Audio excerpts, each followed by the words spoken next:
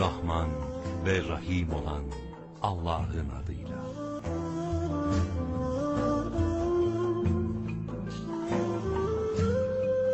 Şüphesiz biz onu, Kur'an'ı Kadir gecesinde indirdik.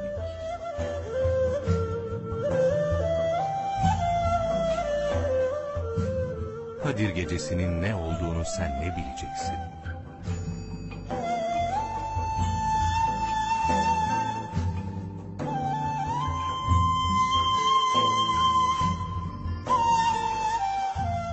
Gecesi bin aydan daha hayırlıdır.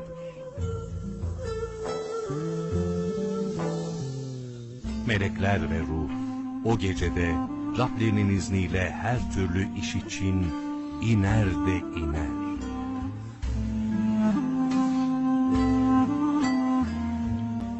O gece tan yerinin ağarmasına kadar bir esenliktir.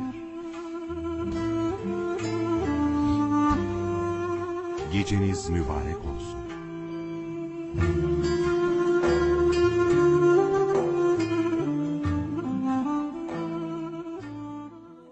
Kadir Gecesi Duası Ayşe Validemiz, şayet Kadir Gecesi'ne tavafuk edersem nasıl dua edeyim diye Allah Resulüne sormuş.